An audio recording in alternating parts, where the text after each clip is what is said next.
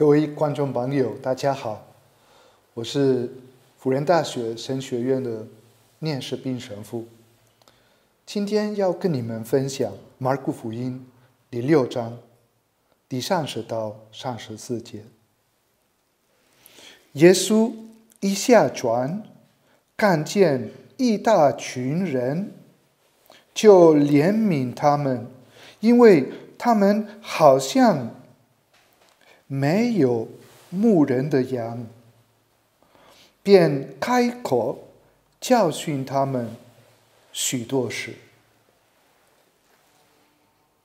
马尔古福音强调，耶稣先慢慢的教训那些那些人，那些群众。以后呢，要给他们吃，是我们刚才念的这段福音，是耶稣做这个大那个奇迹，是为那么多人，为那么多人啊，这些面饼啊、鱼养育了他们。可是先耶稣要慢慢的。教训他们，那为什么呢？因为我们刚才听的是都是来自耶稣的怜悯，耶稣的仁慈。他怜悯人类的时候呢，他要养育他们，可是要满足他们的这个渴望，都包括灵魂。跟身体，人就是这样子，人有身体方面的需要，要吃，可是人也有灵魂上的需要，他需要救恩，所以耶稣先教训他们，让他们看到他们需要什么，让他们感觉到。对天主的渴望，然后呢，都要给他们东西吃。所以，这个耶稣的可以说他的属性，耶稣的真理就是面饼。那面饼呢是食粮，那这个食粮呢是让我们的身体。呃，能够产生生命，让我们的身体保持生命。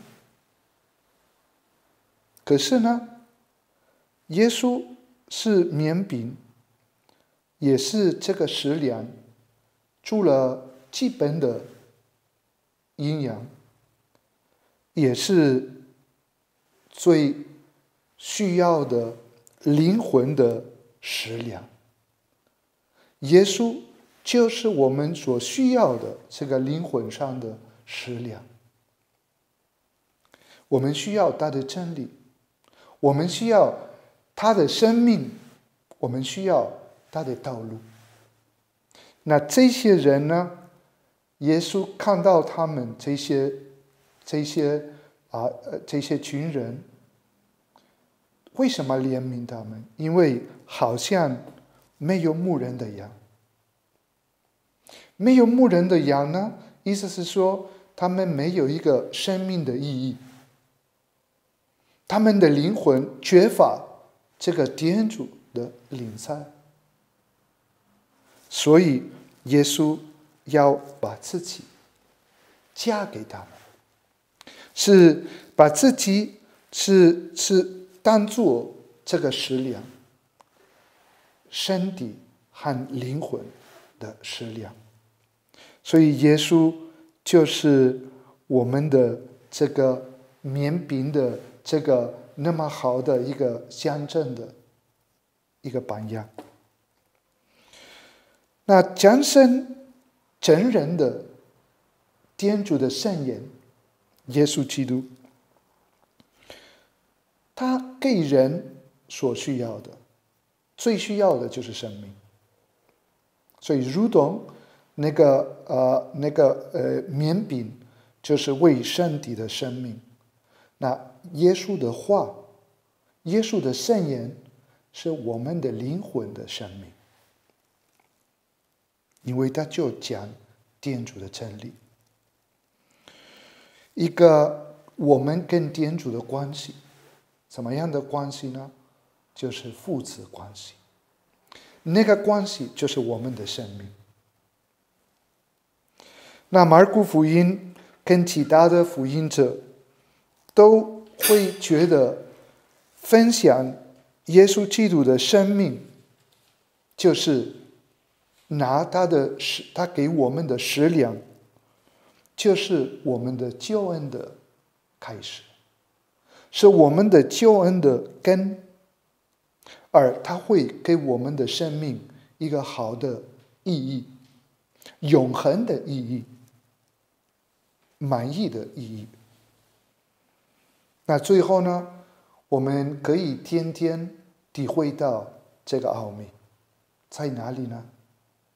在感恩圣事，在这个弥撒的祭献呢，我们说是耶稣成为。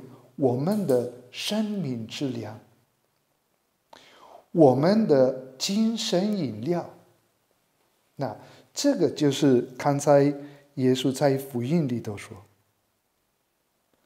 他看见他们，怜悯他们，因为他们好像没有牧人的羊，便开口教训他们许多事，所以在。感恩祭，我们听耶稣基督的话，我们听福音，我们听天主的圣言，也是领受耶稣基督的圣体，我们的生命的食粮。阿门。